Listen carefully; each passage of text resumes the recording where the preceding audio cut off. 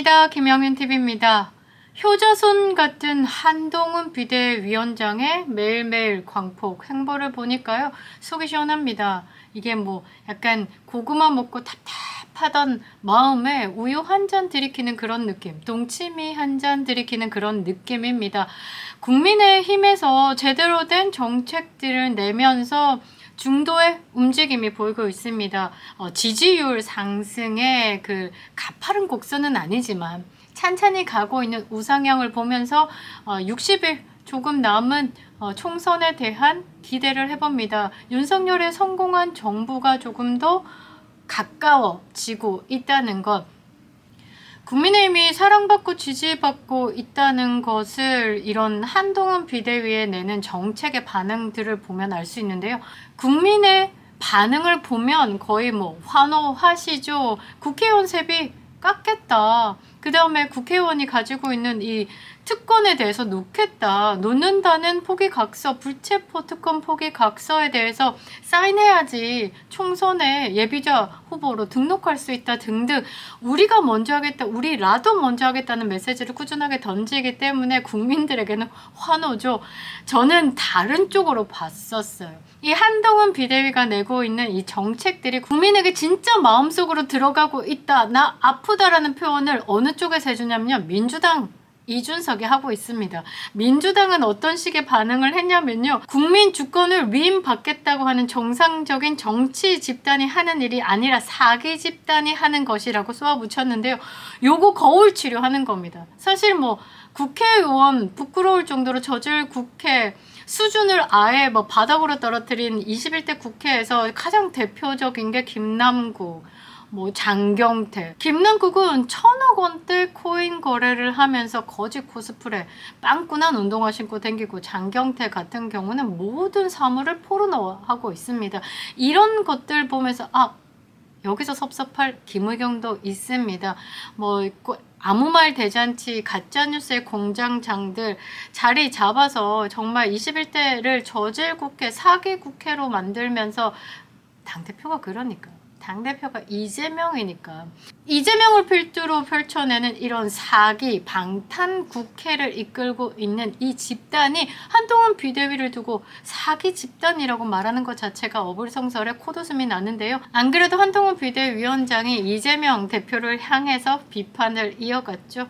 그런데 여기서 의문의 패를 당한 이준석도 있습니다. 한동훈이 그 더불어민주당의 당대표에 대해서 연일 뭐 법관 니가 썼니? 라고 지적을 하고 또 더불어민주당이 사기 집단이라고 말한 부분에 반사하는데 이준석도 마찬가지로 이 한동훈 비대위원장의 그 정책 행보에 대해서 쓴소리를 내고 있는데 여전히 무시당하고 있다는 것. 정말 우습습니다.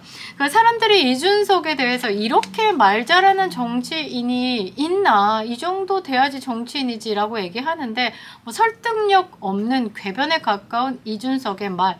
그리고 사실 국회의원이 민생을 돌보고 국민들의 마음을 찾 그 다음에 국민에게 가장 가깝게 잘 해결될 수 있고 그 다음에 나라가 잘 설 수 있는 입법 활동을 하는 게 국회의원의 몫인데 말 잘하는 게 국회의원은 아니잖아요. 말 잘하면 저기 사기꾼 원래 하던 대로 가면 되고 패널 하면 됩니다. 아니면 어, 실력이 검증됐죠. 유튜브 방송에서 하루 조회수 천도 안 되는 여의도 재건축을 들고 있는 거 보면 말 잘한다라는 것보다 본인이 가진 위치에서 제대로 꽂아주는 외부 총질이 잘 먹힌다라고 봐야 되는 거라고 봅니다. 메시지가 어, 이제 한동훈 비대위의 메시지를 보면 똑똑해요.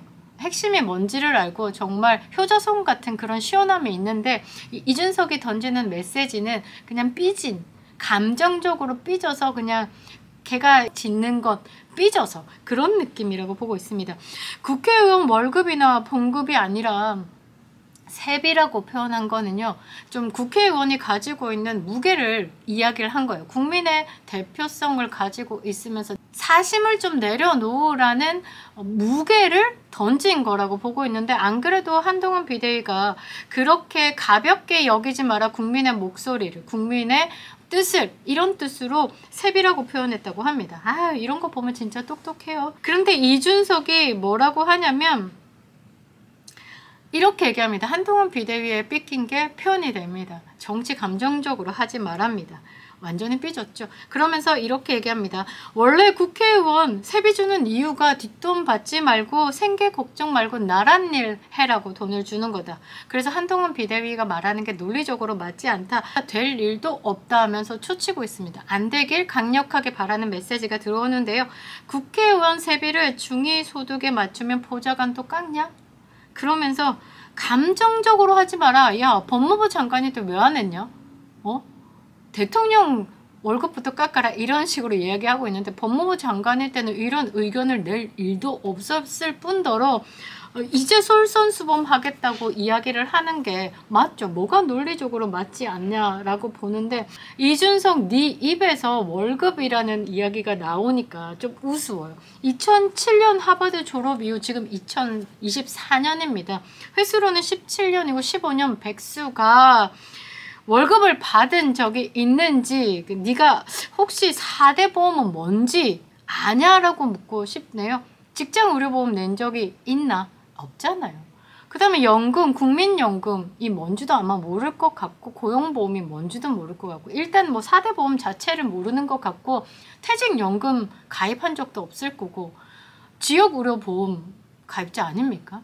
이러니 열심히 땀 흘려 일해본 적이 없기 때문에 돈의 가치를 모른다는 건 국회의원 세비를 가지고 이야기한다는 게 조금 우습다는 거지. 너만큼은 월급에 대해서 이야기하는 게 설득력이 더 없고 공감도 안 된다는 것. 감정적으로 다가오죠. 대통령 월급부터 깎아라 라고 얘기하는데 대통령 월급 누가 올렸습니까? 민주당이 올리지 않았습니까? 국회의원 월급도 조용히 올리면서 상, 상여금부터 시작해서 지들이 받아갈 수 있는 돈들 올릴 수 있는 한 다 올리고 있는 게 민주당인데 지금 민주당하고 이준석이 같은 괴를 하면서 대통령 월급 깎으라고 하니까 이거 빵꾸 낀 놈이 썩낸다는 느낌이 드네요. 마지막 정리하겠습니다.